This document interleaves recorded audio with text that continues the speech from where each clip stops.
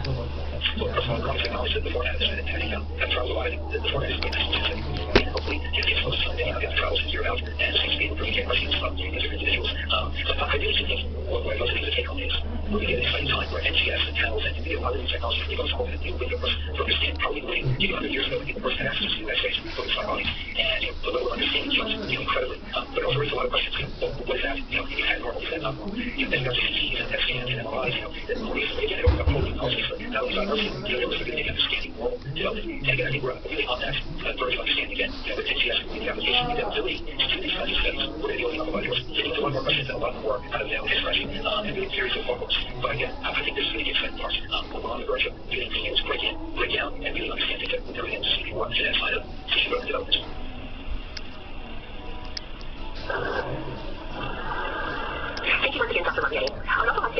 making today's educational webcast possible. Before we go, I want to let everyone know that today's webcast will be available for on-demand viewing through July 2013. You will receive an email from LabRoots letting you know when this webcast will be available for replay. Please share that announcement with your colleagues who may have missed today's live event. That's all for now. Thank you for joining us. We hope to see you again soon. Goodbye.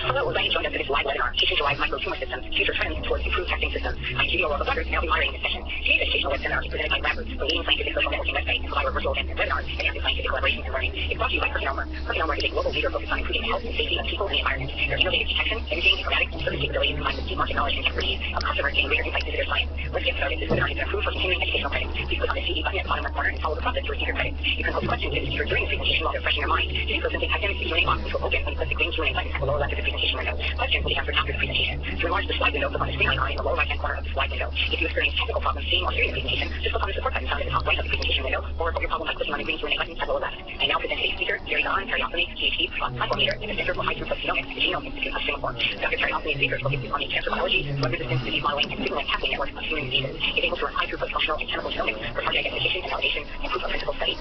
Dr. Periostomy's current focus is on discovery and and genotypes upon RNA-mediated gene silencing or cDNA overexpression or target novel mechanisms of drug resistance. Of 3D cell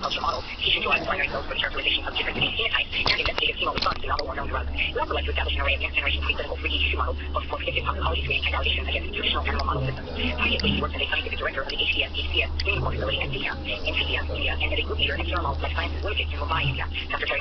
Center for Biotechnology at Anna University, where he PhD in biotechnology. He has more than 15 significant publications and eight patents to his credit. Dr. Now.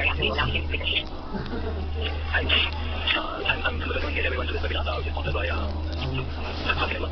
I'm going to talk about uh, patient-derived microtumor systems, uh, a future trend towards uh, improving the testing system uh, by uh, for, for, for us to realize the potential of HTS and uh, uh, HCS, which is a high throughput and high content screen.